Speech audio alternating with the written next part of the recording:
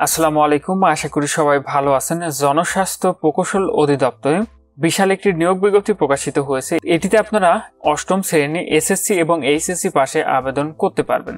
তো এটিতে আবেদনের জন্য আপনি আপনার মোবাইল অথবা কম্পিউটারে যে কোনো একটি ব্রাউজার ওপেন করুন। ব্রাউজারটি ওপেন করার পর অ্যাড্রেস বারে গিয়ে আপনাকে লিখতে হবে ডিপিএইসি dot Teletalk dot com dot BD লেখার পরে ইন্টার ট্যাপ করবেন। ইন্টার ট্যাপ করলে আপনি এমন একটি ইন্টারফেস পেয়ে যাবেন। প্রথমে দেখতে পাচ্ছেন লেখা আছে অ্যাডভার্টাইজমেন্ট আপনি যদি এখানে ক্লিক করেন সেই ক্ষেত্রে সেই নিয়োগ বিজ্ঞপ্তিটি আপনি দেখতে পাবেন।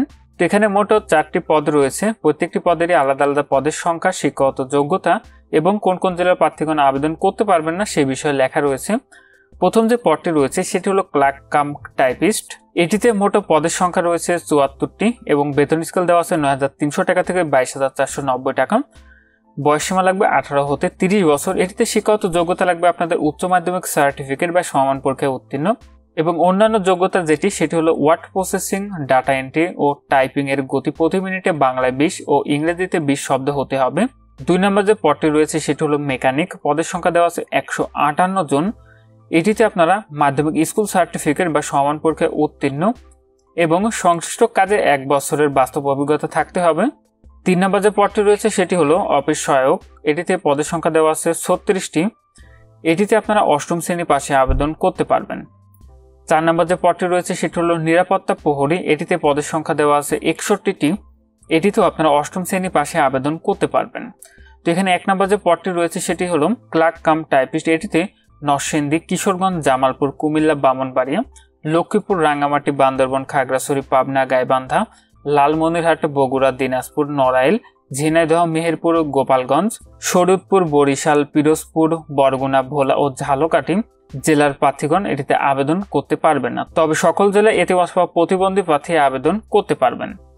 এবং নিচের যে তিনটি পথ রয়েছে, সেটি হলো মেকানিক অফিস সহক এবং নিরাপত্তা প্রহরী। এটিতে নরসিংদী, জামালপুর, শেরপুর, কুমিল্লা, চাঁদপুর, ব্রাহ্মণবাড়িয়া, লক্ষ্মীপুর, কক্সবাজার, রাঙ্গামাটি, বান্দরবন, খাগড়াছড়ি, সুনামগঞ্জ, সিরাজগঞ্জ, নওগাঁ, লালমনিরহাট, ঠাকুরগাঁও, মাগুরা, মাদারীপুর, বরিশাল, পটুয়াখালী ও ঝালকাঠি জেলার প্রার্থীগণ আবেদন করতে পারবেন না। তো এটির আবেদনটি ইতিমধ্যে অনলাইনে শুরু হয়ে গিয়েছে। এটির আবেদনটি শেষ হবে সাতাশে এপ্রিল দু হাজার বাইশ তারিখ বিকাল পাঁচটায়।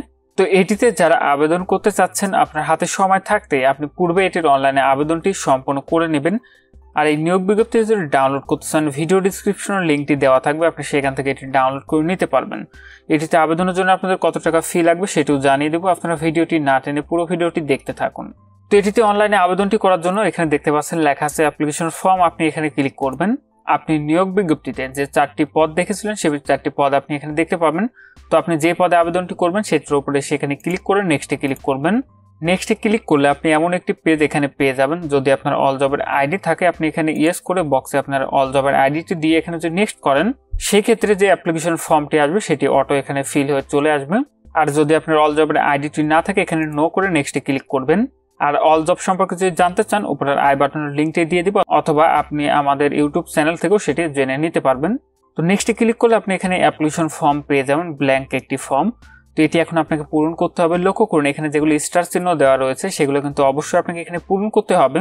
তো আবেদনের সময় আপনার প্রয়োজন হবে আপনার শিক্ষাগত যোগ্যতার কাগজ, আপনার জাতীয় পরিচয়পত্র অথবা জন্ম সনদ, আপনার ছবি এবং সিগনেচার তো এখানে প্রথমত রয়েছে অ্যাপ্লিকেন্ট নেম এখানে আপনার নামটি লিখে দেবেন, আপনার সার্টিফিকেটে যেভাবে লেখা রয়েছে সেভাবে আপনি এখানে লিখে দেবেন, তারপর আপনার পিতার নামটি লিখে দেবেন, মাতার নামটি লিখে দেবেন, সব ইংরেজিতে লিখতে হবে আপনাকে। তারপর রয়েছে date of birth day month year সেটি লিখে দেবেন, তারপর হচ্ছে জেন্ডার আপনার জেন্ডারটি সিলেক্ট করে দিবেন।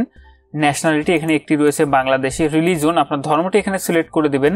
তারপর রয়েছে ন্যাশনাল আইডি অথবা বার্থ রেজিস্ট্রেশন এই দুটি যে কোনো একটি অনলাইনে আবেদন করার সময় আপনাকে দিতে হবে যেটি দিবেন, সেটির উপরে সে এখানে ইয়েস এখানে ক্লিক করে এই বক্সে সেটি লিখে দিবেন। তারপর রয়েছে পাসপোর্ট আইডি যদি আপনার পাসপোর্ট আইডি থেকে থাকে, সেটাও দিয়ে দিতে পারেন। তারপর রয়েছে ম্যারিটাল স্ট্যাটাস যদি বিবাহিত হয়ে থাকেন, এখানে ম্যারিডে ক্লিক করে এখানে স্বামী অথবা স্ত্রীর নাম আপনাকে লিখে দিতে হবে। তারপর রয়েছে কোঠা। আপনার যদি কোনো কোঠা থেকে থাকে, সেক্ষেত্রে এখানে আপনি আপনার কোঠাটি দিয়ে দেবেন। এখানে মুক্তিযোদ্ধা কোঠা, শারীরিক প্রতিবন্ধী, এতিম, আনসার ভিডিও ইত্যাদি আপনি অনেকগুলো কোঠার অপশন পেয়ে যাবেন। যদি আপনার কোঠা থাকে, সেটি দিয়ে দিবেন।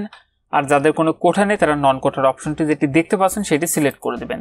তারপর রয়েছে প্রেজেন্ট অ্যাড্রেস প্রথমে রয়েছে কেয়ার অফ আপনার গার্ডেন হিসেবে যার নামটি দিবেন, তার নামে বক্সে এখানে লিখে দিবেন, তারপর রয়েছে village town road house flat আপনার ভিলেজের নাম টাউন রোড সেটি আপনি এই বক্সে এখানে লিখে দিবেন।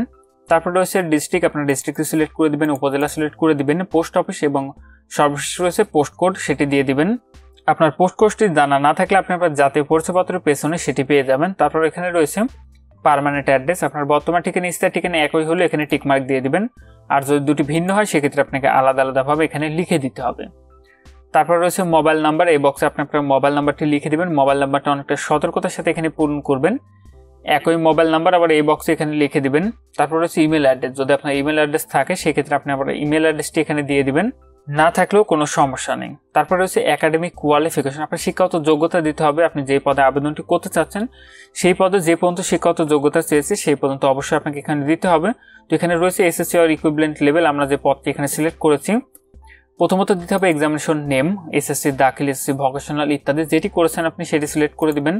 তারপর এখানে বোর্ডটি সিলেক্ট করে দেবেন রোল নাম্বারটি লিখে দেবেন রেজাল্টটি সিলেক্ট করে দেবেন পাসিং ইয়ার এবং গ্রুপ অথবা সাবজেক্ট এবং এক্সপিরিয়েন্স অথবা আদার্স ইনফরমেশন এখানে লেখা আছে do you have eight pass certificate তো আপনার যদি এইট পাস সার্টিফিকেট থাকে, আপনি এখানে ইয়েস করে দিবেন, আর যদি না থাকে, এখানে নো করে দিবেন। তারপরে রয়েছে ডিপার্টমেন্টাল ক্যান্ডিডেট স্ট্যাটাস এখানে আপনি যদি সরকারি আধা সরকারি বা সাথে সাথে কোনো প্রতিষ্ঠানের কর্মরত প্রার্থী হয়ে থাকেন, সেটা আপনি এখানে সিলেক্ট করে দিবেন।